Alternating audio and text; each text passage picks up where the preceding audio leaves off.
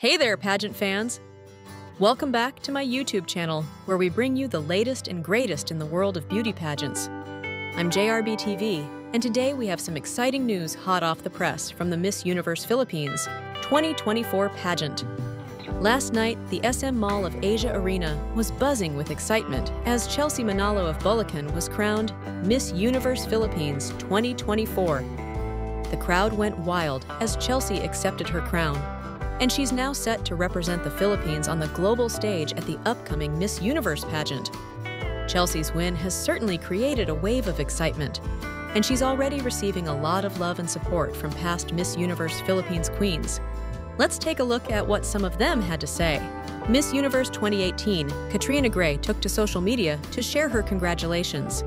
She posted a photo of Chelsea celebrating her victory with the caption, We have a new queen, congrats Chelsea Manalo, our new Miss Universe PH, raise the flag.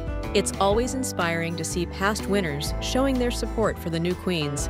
And that's not all. Shamcey Supsup, who was Miss Universe Philippines 2011, also congratulated Chelsea by sharing a lovely photo of them together. It's clear that the pageant community is rallying behind Chelsea as she prepares for the Miss Universe pageant. Chelsea Manalo's journey to the crown was nothing short of spectacular, and her win is well deserved. With her grace, intelligence, and charisma, we're confident she'll make the Philippines proud on the international stage. So, what do you think of our new Miss Universe Philippines? Are you excited to see Chelsea Manalo represent the Philippines at Miss Universe?